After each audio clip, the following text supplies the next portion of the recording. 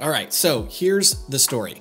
I was trying to figure out how to fill the inside of a object in Blender using geometry nodes and fill it with points so I can do some cool stuff with. So I found a video by Entagma and safe to say I gave up before I started. It was so complicated. Shout out to Entagma. But to my surprise, I continued to research and I found a node that was recently added to Blender that no one's talking about and I absolutely love because you can do so many cool things with it. So I'm gonna show you what the node is, show you what you can do with it, and we'll get into that right after this quick shout out. Welcome to Real-Time Materials, a collection of customizable procedural materials compatible with Eevee and Cycles. This add-on will speed up your workflow, allowing you to stay creative while maximizing your artistic output. Real-time materials are loaded with custom properties, giving you the freedom to change roughness, color, and all kinds of patterns. You can change the shape of wood, the direction of cloth weave, and the size of scratches among many other parameters. Even if you already know how to make procedural materials, imagine the time you will save if you could apply those materials in one easy click.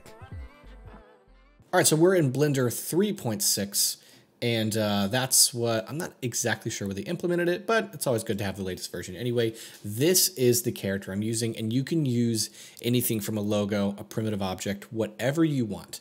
Uh, so here's how it's going to work in Geometry Nodes. Go ahead and create a new Geometry, Nodes tree, can't speak today, um, up here in this uh, shortcut here. And what I'm going to do, we're going to get the mesh to volume, and here we go. This is what we're working with. Now you can see how it's very puffy and far bigger than, uh, you know, originally. So what we're gonna do is bring this exterior bandwidth all the way down to zero, and that's gonna show you what you had originally. Distribute points in volume. This is the node that I'm so excited about. We'll throw it in there, and now you can see some points. You can go ahead and bring up that density. It'll start to form your original mesh.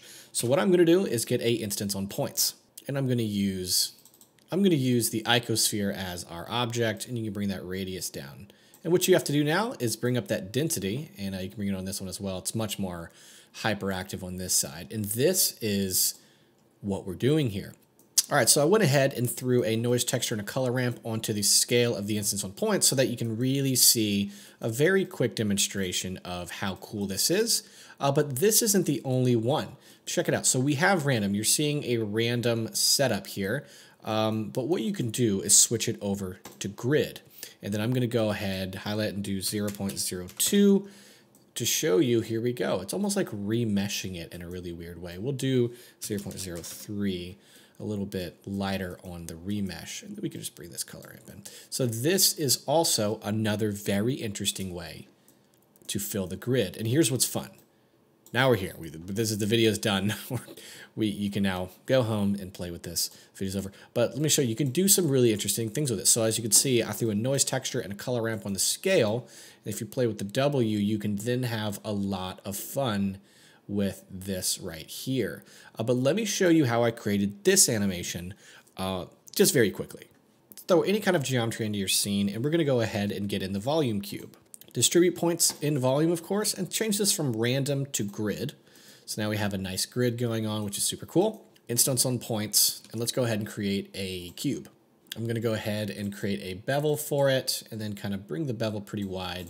Now drag the cube in here as your object and plug geometry into instance. We're gonna do my scale down like this so we can kind of see everything. We're gonna do my spacing at 0.1 so now we have created this. We're gonna need a wave texture to create this effect and we'll plug color into the color ramp and the color ramp into the instance on points scale socket. And then if you use the white portion of the color ramp, that's gonna dictate your size, the black and the white. We're gonna go from bands to rings and then X to spherical. And then we're gonna do 0.1. And now if we bring in our color ramp, something like this, you can actually watch the phase create the effect we're trying to make. And then you can just go ahead and fine tune this effect. So I'm going to bring my uh, spacing here to 0.2 on everything. We're going to get everything to almost touch here. And then you can play with this phase offset. So we can bring in this color ramp to kind of do our magic like that. Again, phase offset creates the effect. And then all we have to do is loop the animation. So we'll just go ahead, get a timeline and looping. The wave texture is the easiest thing on earth. We're gonna keep it at 250 frames. go back to frame one, I mean to frame zero, hit I, go to the end, and then type in, let's do 4 asterisk pi, enter keyframe, and now we have animated this really cool effect that brings it in just like that. And that's it. That's the node I wanted to talk about. It's cool. Add a lot of extra things that you didn't really need to know, but the more the merrier. I hope you have some fun with this. Uh, but that's it. Thank you guys for watching. Feel free to check out real-time materials that help support the channel and help me have time to find really cool things like this. And uh, I'll see you guys in the next tutorial.